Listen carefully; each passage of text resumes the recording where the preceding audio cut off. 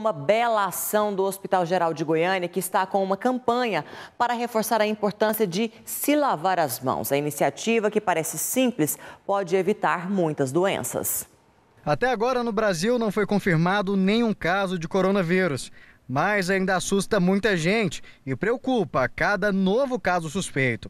Mas para se proteger, até se encontrar um tratamento e vacinas, muita gente pensa que pouca coisa pode ser feita. Mas um simples ato de lavar as mãos, até o momento, é a forma mais eficaz de se proteger. A higienização das mãos, que a gente está trabalhando muito, é, é, a principal forma, né? além de outros cuidados, é o que a gente deve fazer sempre.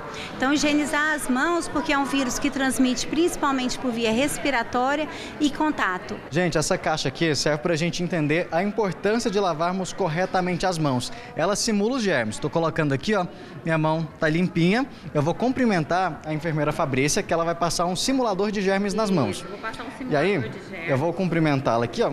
A gente cumprimenta no dia a dia.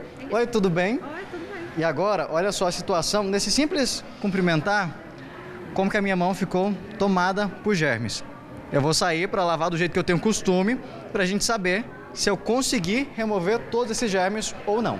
Repare que eu uso o sabonete em boa quantidade, esfrego uma mão na outra e entre os dedos, assim como faço todos os dias. Gente, agora é a prova dos nove. Será que eu lavei a mão corretamente? A gente vai descobrir agora, colocar aqui na caixa. Aparentemente, tá mais ou menos, né? Ainda tem algumas manchinhas aí. É, ficou na parte lateral aqui, está bem visível mesmo, ainda continua brilhante, né? O que mostra que a higienização não foi tão eficaz.